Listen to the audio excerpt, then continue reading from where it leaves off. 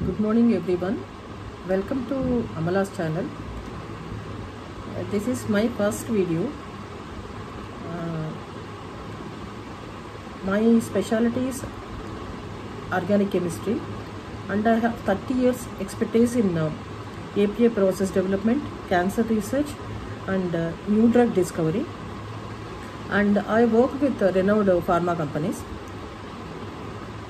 the objective of uh, making these videos is to make this chemistry understandable to the scientist whoever is working on the bench. With this i don't want to focus on the chemistry part because so many uh, chemistry videos are available online and most of the people they are properly qualified that is postdocs and phds are working in benches. My objective is to uh, enhance your passion towards the bench work.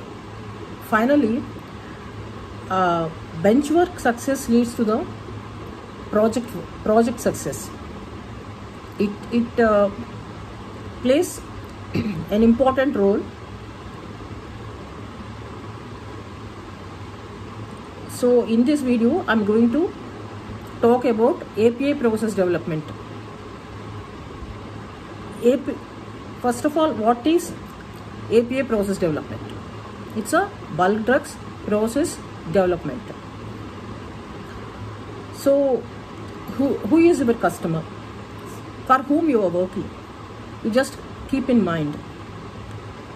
Are you working for your employer? Are you working for your salary no. This is incorrect. Your customer is patient. You just keep in mind before starting any work. Because with that process development we are making those bulk drugs affordable to the patient. So we are working with the very great objective. So we have to consider API process development as a creative art because it is in your hands. Whoever is working in the bench. If you focus, you can make that medicine affordable to the needy patients. So, what is step number one? You have to do complete literature search available till date. Means what? Maybe you may be knowing that uh, that you may be knowing the fundamentals of reductions oxidations everything. Still with respect to that project you have to do complete literature search stage wise because that literature is already known.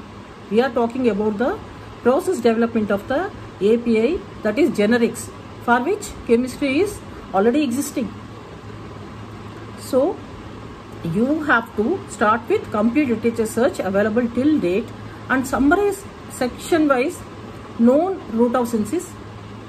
What are the known route of synthesis?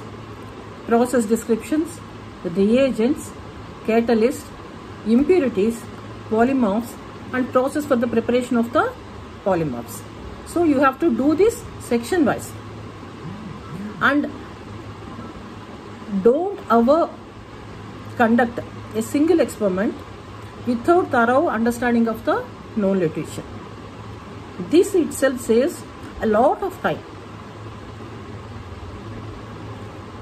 And now, what is the need of the project? You should understand. So, first of all, you have to work in the basic patent route. So, you work on the basic patent route and identify the known polymorph. That is mandatory in every project then you have to design your OS depending on the project needs. Then what is required for the project? Everybody they aims for the novel routes. Novel routes is not to break uh, not to break complete chemistry because you are not aiming for the Nobel Prize. Ultimately what you need is a non-infringing route from all the known ROSs as per existing patent claims. So think smart. you have to go through the patents of claim part exclusively claim parts of all the patents you must be having IPR department in your in your uh, organization they may be giving you the inputs still your intervention is required you have to go through all those IPR reports and the claims part based on that you can design your non-infringing rule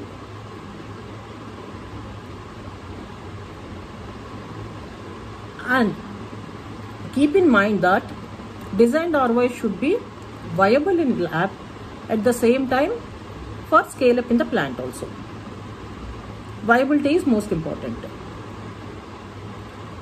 At the uh, in the same scenario, raw materials availability is also major criteria. And then you have to set the timelines for achieving the project goals. Set milestones also as per that particular project requirement. And identify and plan minimum required exper experiments to complete the project. This would be achieved on thorough chemistry and literature study pertaining to the project.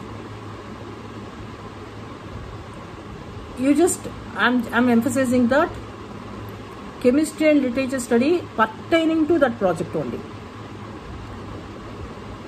Okay. Also, each and every operation designed in lab should be viewed in plant point of view. You should judge yourself that this operation is viable in plant or not.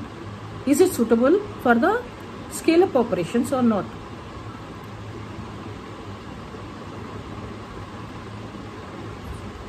And challenging and optimizing stage wise reagents, conditions, parameters is essential.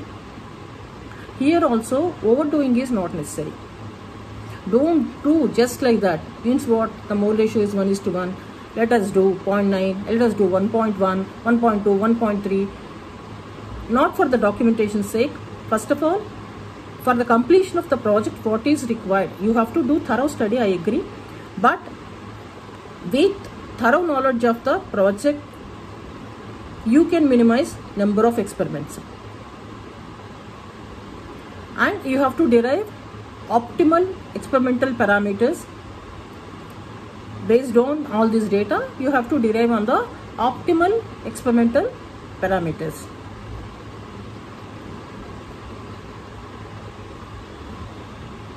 There is a lot of sophistication in uh, chemistry instrumentation.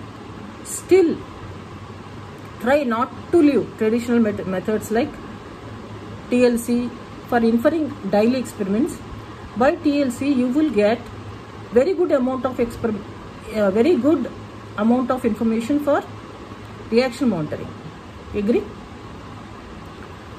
Because without TLC I cannot I cannot uh, imagine a project. TLC is a great art actually.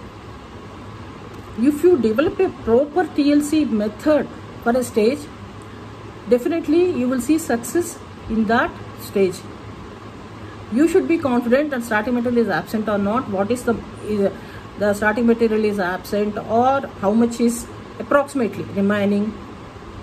So TLC is a great tool.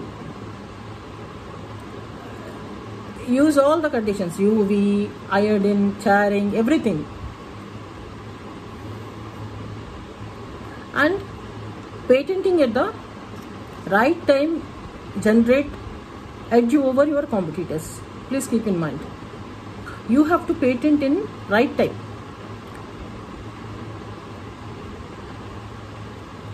And uh, whoever is the team lead maybe you are leading one to two scientists three scientists or a number of scientists.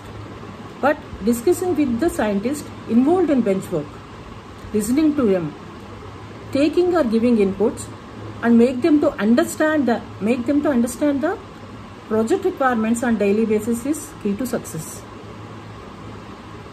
team lead should always be reachable to get better project outcome So uh, these are the just few points. I, I just want to start with the API process development. In the forthcoming videos, I will be discussing in detail how to conduct polymorph, how to get a new polymorph, and based on your requirements also, I can add videos. Uh, thank you so much for watching this video. And I request you to subscribe to my channel. And my very objective of doing I'm re repeating once again my very objective of doing these videos is I have about 25 plus years expertise. I want to share my knowledge with all the scientists young young scientists who is struggling or uh, they are whoever is confused about the needs of this chemistry.